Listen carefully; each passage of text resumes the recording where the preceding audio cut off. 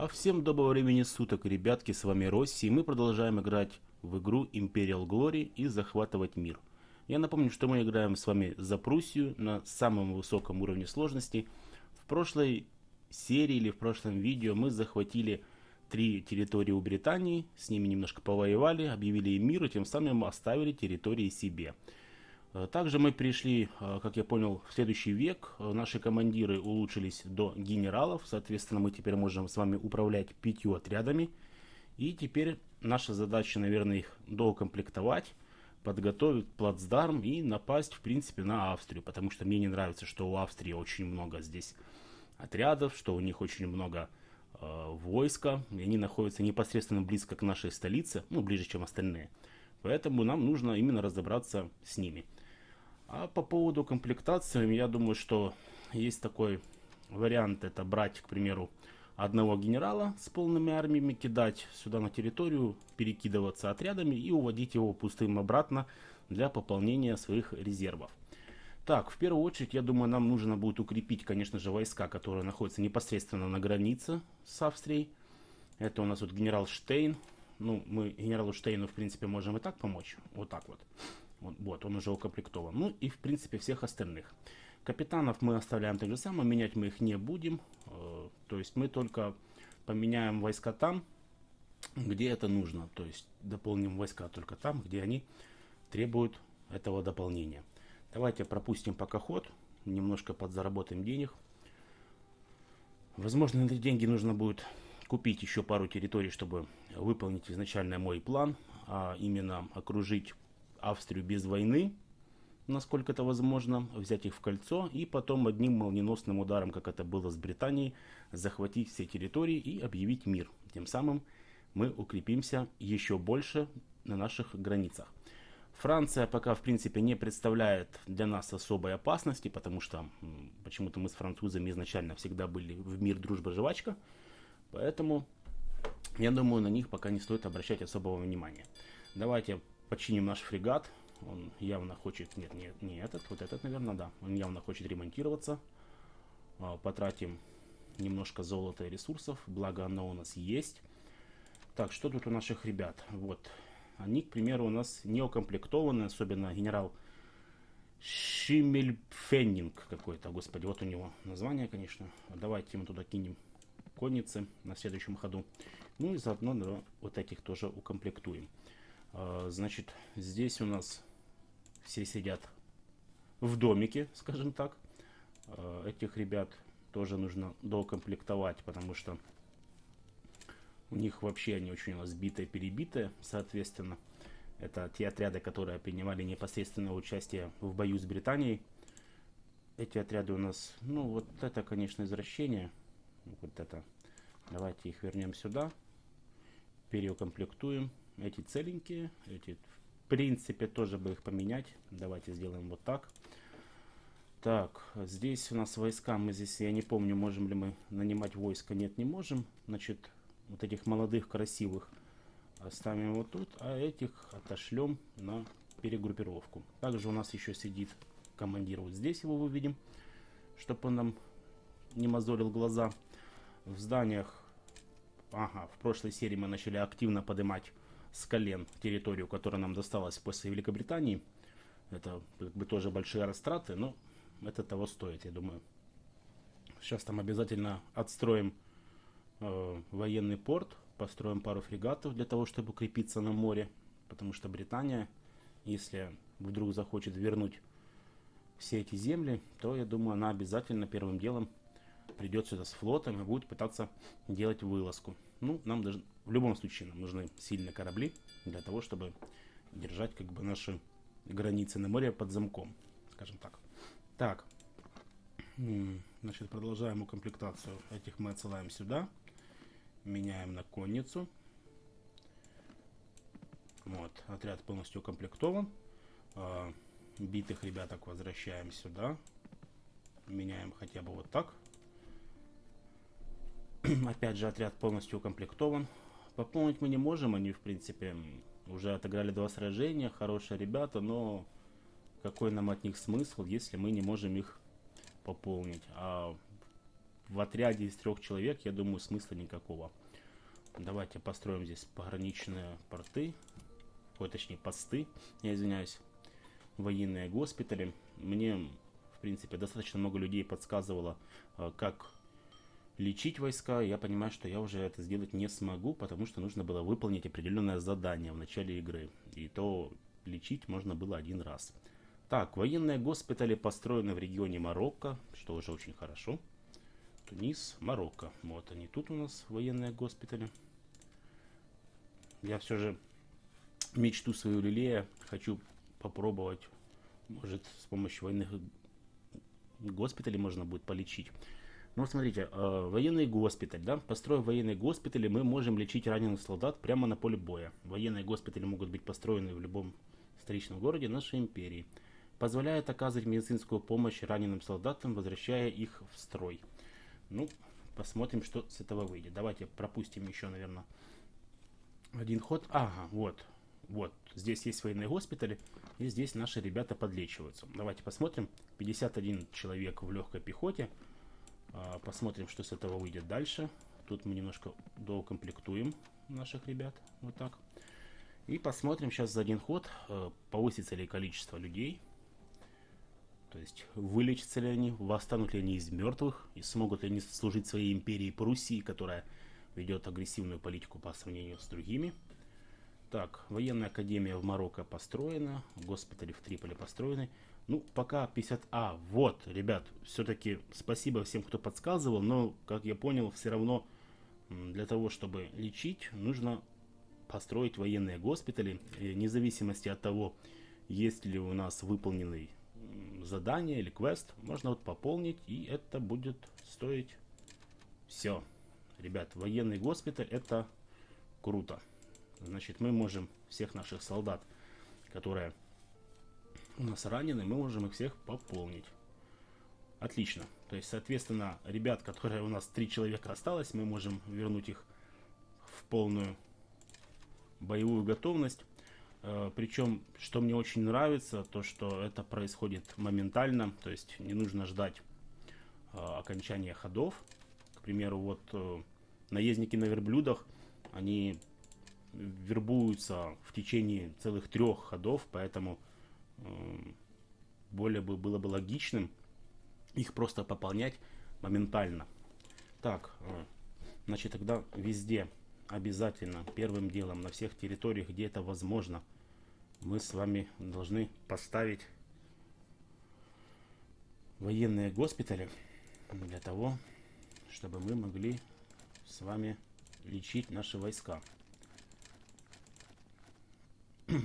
так, тут оно тут построится. Тут уже, ну, в принципе, ага, вот в Польше.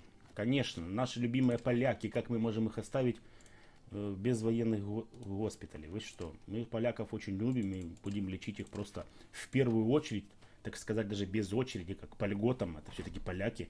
Поэтому, ребят, ну, я просто не могу обойти их стороной. А тем временем мы продолжаем лечить наши войска.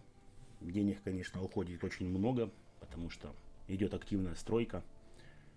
Но ничего, немножко повоевали, теперь немножко нужно будет залезать раны и поднять нашу инфраструктуру.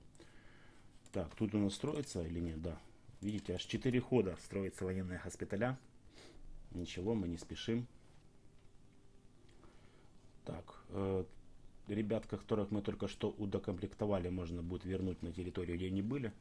Я, знаете, не люблю, когда у меня территория находится вообще без охраны. Хотя бы один-два отряда каких-то должны быть, чтобы хотя бы поогрызаться.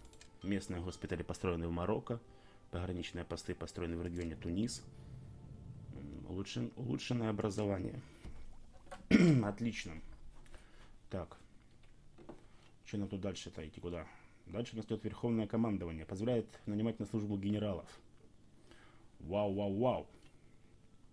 Угу. Философия просвещения. Ну, давайте. Нет. А вот тут что у нас? Полицейские участки. Уменьшает время ассимиляции завоеванной страны на 30%.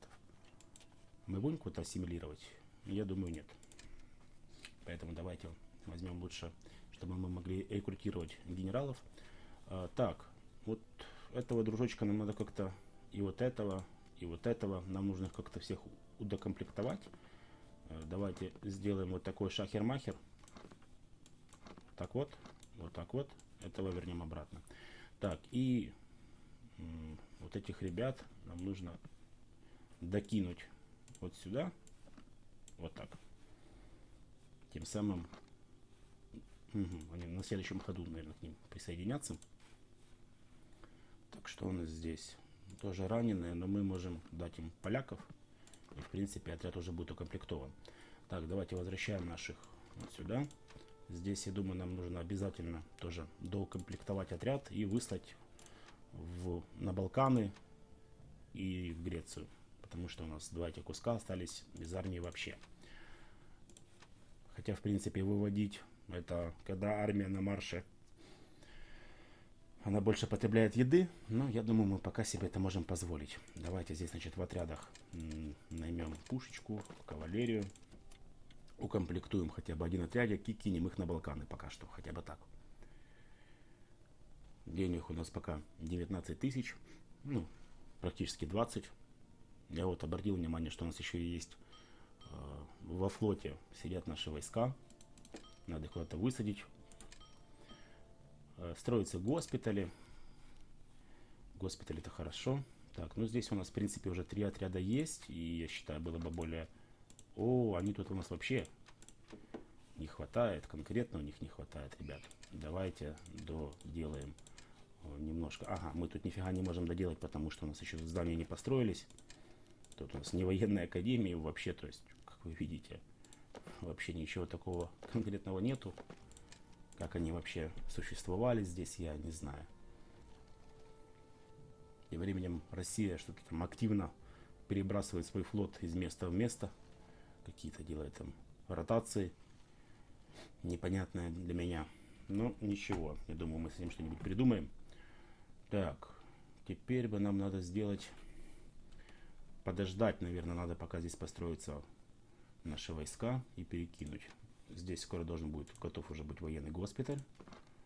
Как раз вот мы пополним наши ряды в наездниках для верблюдов. Давайте посмотрим, а, что нам там предлагает Австрия за свою территорию. Вот, к примеру, мне интересует Венеция 18 тысяч, Ломбардия 43, 33 Пьемонт, Шампань 27, 28. Ну, в принципе, можем купить Венецию. Давайте мы им предложим за это 18 тысяч. Ой, чуть не дал им 19. А, послать Ага. Пересмотреть условия договора. Хорошо, я даю вам 19 тысяч. Все. Венеция наша. Тем самым пускай эти ребятки убирают свои войска отсюда. А, здесь мы можем построить только... Ух ты, торговую верфь. Давайте, может, построим торговую верфь. Но только нам не хватает ресурсов. Она стоит аж 8 тысяч. Короче, там до хрена стоит. Пропускаем ход. Австрия, пожалуйста, пусть покидает. Значит, нам нужно будет через Балканы туда обязательно перевести войска. Сначала кинем их на Балканы, и потом с Балканов кинем, соответственно, дальше.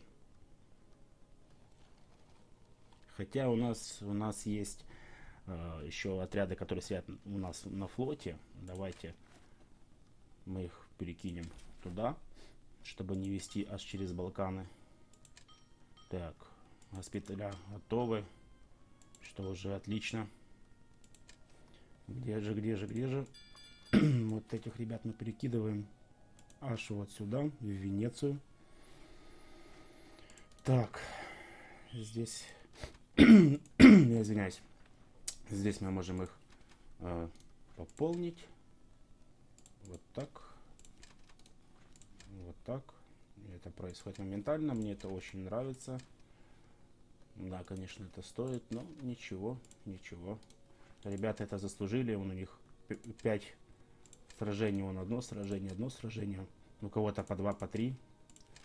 Поэтому ветеранов надо обязательно уважать.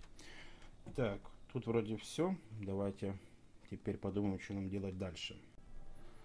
Так, а дальше мы с вами укомплектовываем опять же наши отряды.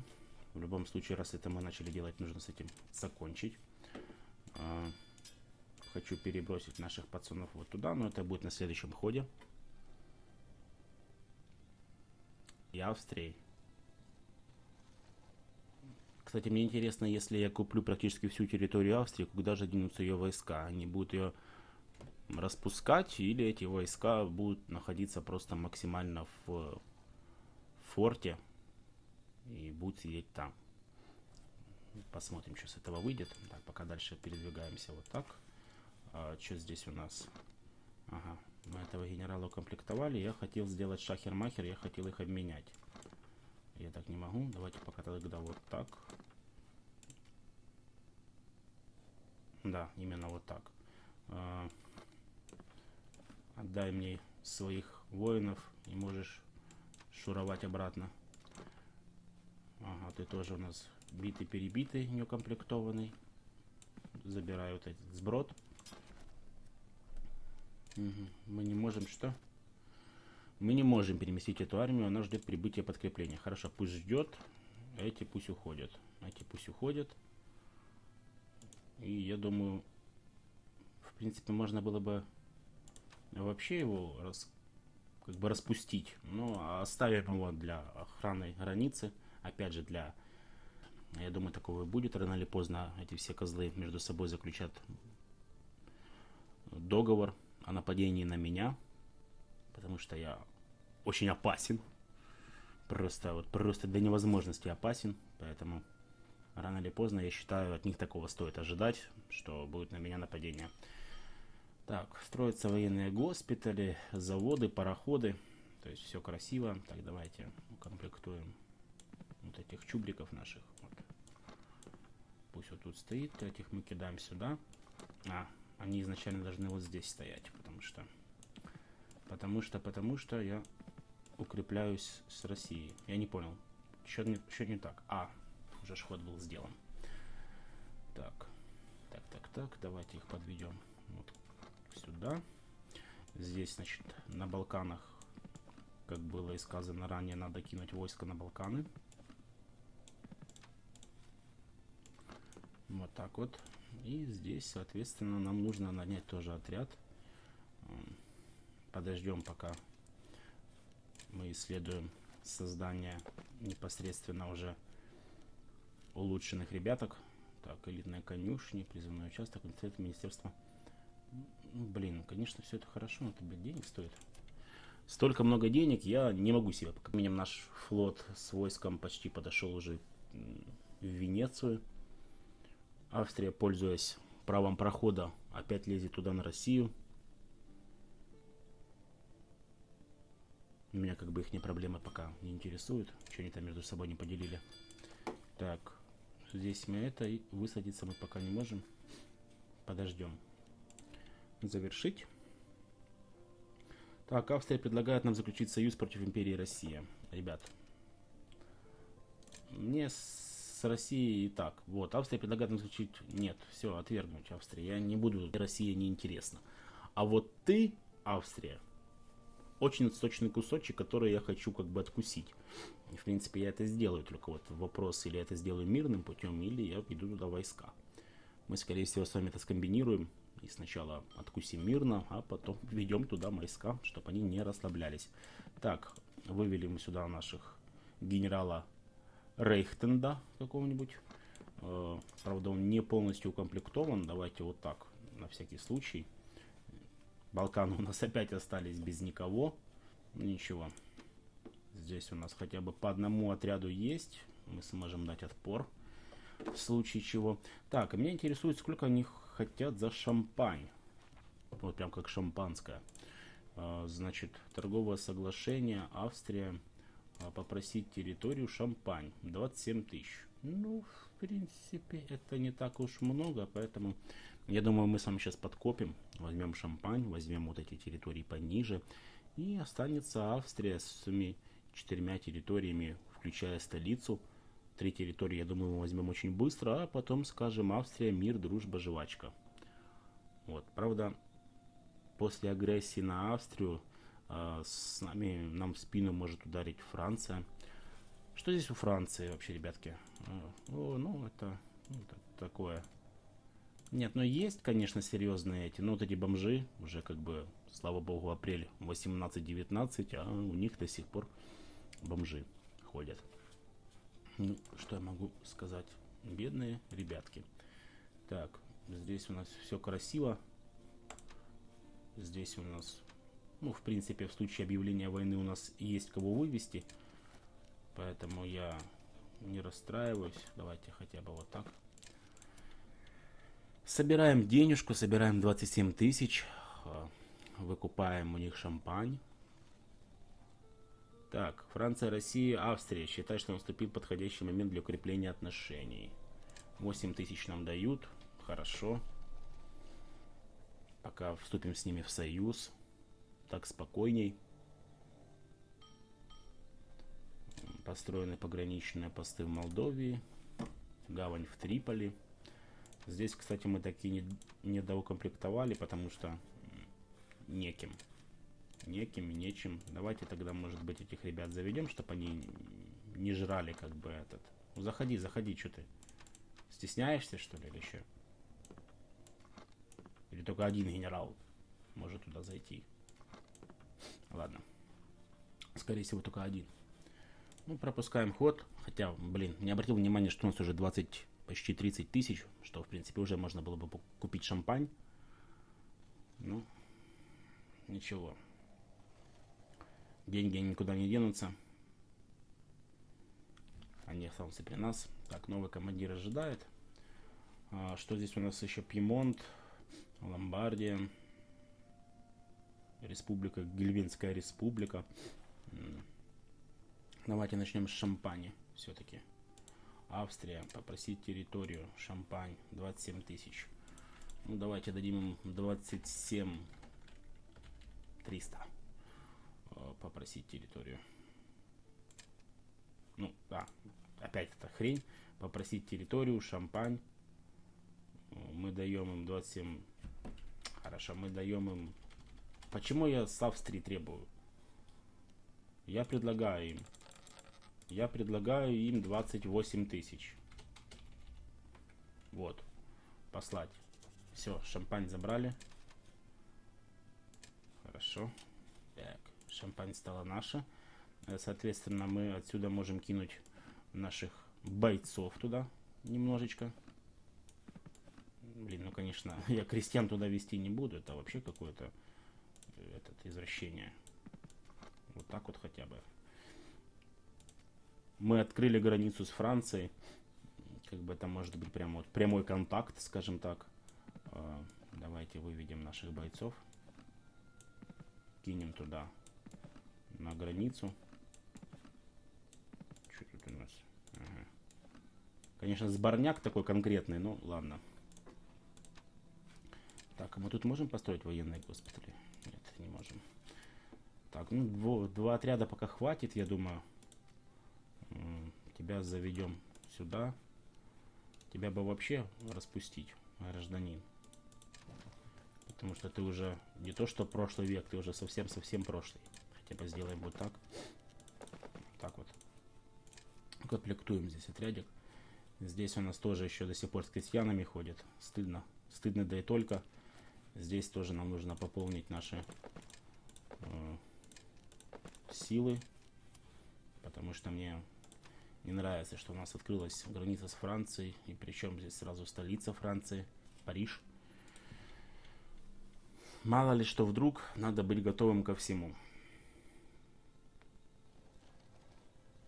Все они такие хитрые подлые ребята. Поэтому надо бдить, бдить. Лучше перебдить, чем недобдить. Так. 7 тысяч. Ну, пока нам деньги будут сейчас идти немножко в минус, потому что мы отстраиваем наши войска. Давайте этого капитана несчастного кинем к этому капитану. Пусть здесь вдвоем стоят, радуются жизни. А, тем временем в Молдове, точнее Молдавии, давайте возьмем а, тоже хоть немножко там пехоты какой-нибудь артиллерии офицера. Мало ли вдруг что все-таки надо кинуть на Балканы. Я думаю, может нам стоит перевести немножко отсюда, потому что, ну, какой-то смысл я здесь не вижу. Тут вообще, смотрите, каменный век. Ни хрена, блин, нету, как обычно. Не удивлен, блин, что тут ни хера нету. Опять сейчас назначил огромную стройку, где мы будем брать деньги. Ну, конечно, поотдавали Австрии кучу денег. Но, понимаете, фишка в том, что Австрия их никуда не может как бы пустить в.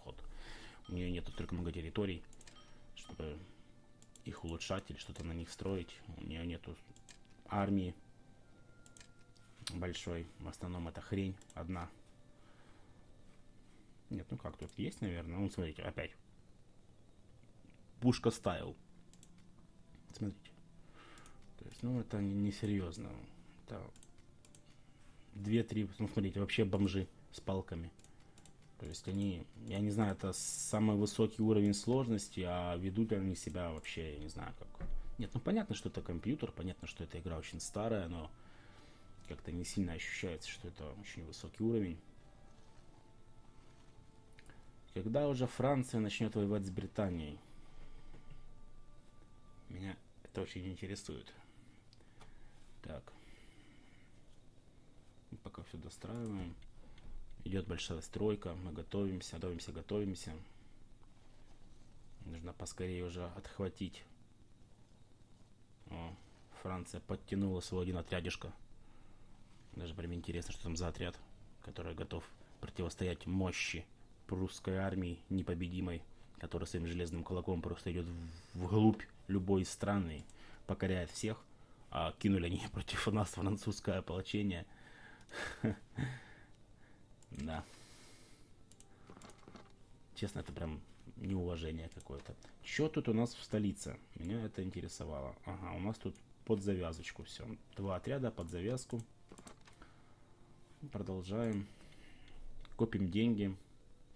Копим вводим, захватываем сразу три территории. И Австрия у нас становится в таком же статусе, как и Россия. То есть они как бы есть, но их как бы нет. Вот и все. Британия. Смотрите, как Британия активно кинула большой флот э, в районе трех-четырех отрядов кораблей э, в нашу, так сказать, бухту. Они, наверное, хотят каких-нибудь разборок с нами. Видно, им мало оказалось. Или это будет месть за операцию Королевская киска в зоне риска. Ну, в общем, не знаю. Что тут у нас? Шлюп, шлюп, шлюп. У нас шлюп, фрегат, фри, шлюп, фрегат. Ну, такое. Если будет бой, то мы можем, конечно, еще и проиграть. Потому что... Потому что я не люблю...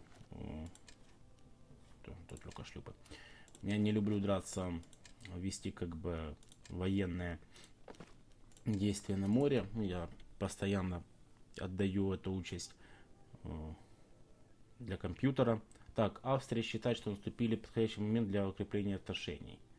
Они предлагают 27 тысяч. Ребятки, вот наши деньги вернулись. Мы сейчас их уже пустим в оборот денег с Австрии, купим ее территорию. Она потом наши деньги отдаст нам обратно. Главное, чтобы сейчас Австрия не влезла в войну с Францией, потому что на основании этого мы должны будем напасть на Францию, соответственно, в ответ. А за Францию может подписаться Ага, Франция ищет возможность, дает нам 13 тысяч, хорошо. Все, с Францией мы воевать не будем, Франция нам отбашляла. И все эти деньги мы обязательно потратим с пользой, мы обязательно на них выкупим половину Австрии. Вот. И все. Так, господин, наш союзник Франция пишет стране Великобритания. Ага. Ага, хорошо. Ладно, мне все равно абсолютно, кто там к нам вступает. Торговое соглашение, значит, с Австрией. Я хочу попросить у вас территорию 29, 25, 33. Угу. Ну давайте вот Ломбардию возьмем. Даю 26 тысяч. Вот так. Послать. Нет. Весьма щедрая, но хорошо, 27 даю. Вот вы мне дали 27 за союз, я вам их возвращаю. Отлично. Хорошо, так. Что тут у нас еще осталось, что мы у них можем купить? А, вот, Республика 29 и 33. Ну, эту всю херню нам не надо. Значит, 29 и 33. Соответственно, ждем. Э, вот наша Ломбардия появилась. Тут хотя бы уже можно строить улучшенные, вон, смотрите, пушки. Смотрите, какая красота здесь вообще происходит, ребят. Давайте обязательно воспользуемся щедростью э, Австрии, которая здесь нам построила хоть что-нибудь. Это уже, уже радует. Ну, пока, пока дальше ничего не будем делать. Подкопим денежек купим еще территорию. И, в принципе, после того, как мы купим всю территорию у Австрии, которую мы хотели купить изначально, мы тем самым возьмем его в кольцо. Нужно будет раскидать грамотно войско. И в следующем видео мы с вами ударим одним ударом и заберем у Австрии все. Свободу, честь, женщин и детей. И Австрия у нас превратится в данной ситуации в Россию, которая ничего нам не может сделать. К сожалению это, или к счастью, но Россия не представляет для нас никакой угрозы. Так, фермы в Марокко. Верховое командование исследовано. Последнее это абсолютная монархия. В это... Угу, угу. Короче, отряды будут на 10% дешевле стоить. Уже хорошо. Так, а, еще раз проверим. Попросить территорию. 29.33. Эх, нам не хватает 100 копеек, ребят. Можно было бы, конечно, что-нибудь продать и купить, но зачем? Мы подождем. Наконец-то у нас уже население под 40 тысяч, то есть мы можем уже вербовать отряды, не заглядываясь на население. Ну, думаю, уже пора, уже сколько серий вышло, сколько людей было убито, поэтому понятно, что мы уже так можем делать. Так, давайте, значит, э, покупаем у них территорию республику, вот эту маленький кусочек. А, предлагаем за это 29 500 послать. Угу. Австрия. Хорошо, 30 тысяч. Вы смотрите, какие жадные. Приходится им переплачивать на 2000 для того, чтобы они 100% а, подписались на это все. Так, вот она наша, наше приобретение. Елецкая республика. Тут тоже можно строить более-менее уже вменяемые э, войска. Давайте мы это обязательно с вами сделаем. Вот так. Потому что нам, помимо всего этого, нужно готовить плацдарм для нападения на Австрию. По условию 8 ходов она выводит свои войска уже с нашей территории. И тем самым, конечно, я бы на вести Австрии не соглашался ни за какие деньги отдавать мне территории вокруг их столицы. Но Армия Империи Австрии находится на нашей... Хорошо, 8 ходов. Хорошо. Хорошо. Вот. Я бы на их месте ни за какие бы деньги в мире не соглашался. Допустим, их же э, союзникам, потенциально Франции. Но Австрия это не я, а я это не Австрия. Мы играем с вами за Пруссию. Поэтому уже понятно, что в следующей серии Австрия перестанет существовать вообще. Так, современные госпитали построены в регионе. Новый командир ожидает. Хорошо. Копим денежку. Нам осталось выкупить последнюю территорию. Капкан сомкнется и будет готов в любой момент разорвать Австрию. Я думаю, это тоже у нас все с вами произойдет за, один, за одну боевочку. То есть мы сразу с всех сторон нападем и за один, максимум два хода вся Австрия будет покорена полностью. Так, значит, здесь у нас ребятки уже подстроились. А, нам надо просто подготовиться, чтобы Австрия может пойти в ответочку со всех сторон. Давайте повыводим наши войска. Соответственно, нужно будет примерить, что, к примеру, отсюда мы раз, два. То есть, ну, я думаю, нам хватит, чтобы мы с каждой стороны ударили по три отряда основных и по одному, к примеру, отряду дополнительному, который будет служить нам в качестве подкрепления, в случае чего. Ну, я думаю, все равно, я думаю, это все не займет много времени, и мы не потратим много сил, мы банально просто сможем их всех задавить как бы конницей, и на этом все закончится, скажем так. Ну, посмотрим, не будем загадывать. Пора уже заканчивать категории, и пора заканчивать уже с этой компанией. Мы уже давно, в принципе, мы уже действительно властители мира стали. Потому что и по силе, и по территориям, и по финансам, и по всем остальным, я думаю, мы далеко-далеко ушли от всех стран, которые здесь у нас остались. Давайте с вами проведем еще пару ходов и, наверное, будем зак... Э, в этой серии. Оставим самое интересное на потом. А самое интересное это наваляем Австрии. Так, глубок, глубокие шахты построены в Марокко. Ну да, мы тем самым там поднимаем же нашу экономику в Марокко. Конечно, было бы еще хорошо поднять бы нашу экономику и в остальных всех. Вот, к примеру, денежка нам нужна бы, почему бы и нет. В Ганновере, в Батавии. Нету такого, Саксонии. Нет, госпиталя, все это, конечно, классно, но некогда это строить, ребят, потому что мы готовимся к военной аннексии наших товарищей. Посмотрим, что с этого выйдет. В принципе, мы даже территорию эту можем не покупать, последнюю оставшуюся, мы ее просто можем взять силой. И я думаю, мы возьмем ее силой. И сделаем мы это, скорее всего, в следующем видео. Всем спасибо за просмотр. Кто-то смотрел до этого момента кто досмотрел до момента пораньше и случайно сюда перемотал, обязательно подписывайтесь на наш канал, ставьте лайки, рассказывайте о нашем канале друзьям. Ребят, помогите собрать побольше подписчиков. Обязательно с вами проведем какой-нибудь конкурс, розыгрыш, ну как это там модно у всех там популярных ютуберов или как там популярных каналов. Я думаю, что будет весело и кто-то получит памятные сувениры Какие конкретно сувениры мы потом с вами решим вместе. А на этом все. Еще раз спасибо за просмотр. С вами был Росси. Всем пока.